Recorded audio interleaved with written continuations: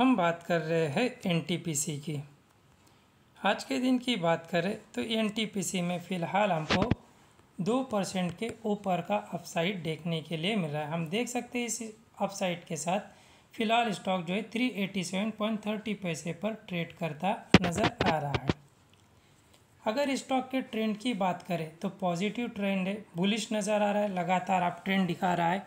और हमने डिस्कस भी किया था जब स्टॉक इस लेवल पर सपोर्ट लेकर बाउंस बैक हुआ था। हमने इस हाई के टारगेट को और इसके ब्रेकआउट को भी डिस्कस किया था। यानी थ्री नाइन्टी तक के टारगेट और इसका भी ब्रेकआउट कर सकता है सामने डिस्कस किया था। ऑलमोस्ट थ्री नाइन्टी तक का जंप स्टॉक ने दिखाया जो इसका हाई वहीं से स्टॉक रिजेक्शन फेस करता नज़र आ रहा है। लेकिन इस रिजेक्शन के साथ 390 के रिजेक्शन के साथ क्या बड़ा सेलिंग प्रेशर यहाँ हमको स्टॉक दिखा रहा है। तो बड़ा सेलिंग अभी तक देखने के लिए नहीं मिल स्टॉक अपने हाई के आसपास ही है। और इस चार्ट पैटर्न पर एक दफ़ा नज़र डाल के देखो दोस्तों। जंप आया, गिरावट आई। तो हाई ब्रे, ब्रेकआउट कर गया जंप पर। गिरावट के बाद बाउंस बैक किया है तो आपने हाई को ब्रेकआउट किया। अगेन गिरावट आई है।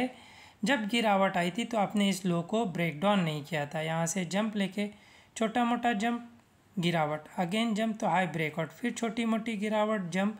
जम के साथ हाई ब्रेकआउट फिर छोटी मोटी गिरावट जम जम के साथ हाई ब्रेकआउट कहीं पर भी स्टॉक अपने रिसेंट लो को ब्रेक डाउन करते नज़र नहीं आ रहा है।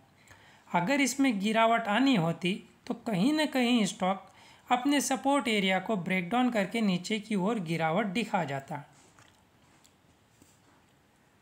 तो अब जहाँ स्टॉक ट्रेड कर रहा है, देख सकते हैं जो इसका रिसेंट लो था, पुराना लो इससे पहले जहाँ से रिजेक्शन ले रहा था 384 385 का लेवल, उसी लेवल पर सपोर्ट लेकर काम करता नज़र आ रहा है। ब्रेकडाउन कर जाता है तो 380 नेक्स्ट सपोर्ट है और स्टॉक जब तक इस लो के ऊपर है, जहाँ से गिरावट के साथ बाउंस बैक किया है। 360 का लेवल, जो कि 360 का लेवल है, इसके ऊपर है, तब तक आप साइड के चांस स्टॉक में बने हुए यहाँ से और तेज़ी स्टॉक दिखाता नज़र आ सकता है। तो आप हमें इमीडिएट टारगेट 390 और इसी लेवल का इंतज़ार है। ब्रेकआउट का इसी लेवल पर हमारी नज़रें बनी हुई है 390 के लेवल पे। जैसे ये ब्रेकआउट होगा, नेक्स्ट टारगेट देखने के लिए मिलेगा 40 का 400 का लेवल, जो कि इसका ठहरा मेजर रेजिस्टेंस। यहाँ से स्टॉक गिरावट दिखा सकता है। से यहाँ से रिजेक्शन लेता नज़र आ सकता है या तो यहाँ से प्रॉफिट बुकिंग भी देखने के लिए मिल सकती है।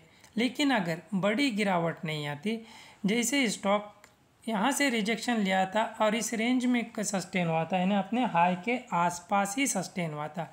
वैसा ही सिनारियो अगर यहाँ नज़र आता है कि 400 के लेवल पर रिजेक्शन लेता है और इस रेंज में ट्रेड होता है 390 के से लेके 400 के बिटवीन तो 400 के ब्रेकआउट के चांस बनेंगे। उसके बाद एन टी लगातार तेज़ी दिखा सकता है।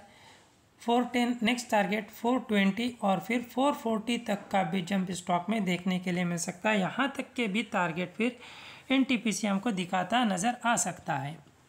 वीडियो एजुकेशन पर्पज़ के लिए कोई बाय सेल या होल्ड की सलाह नहीं है। अगर आप डिमेट अकाउंट ओपन करना चाहते हो तो डिस्क्रिप्शन में दी गई लिंक से कर सकते हो।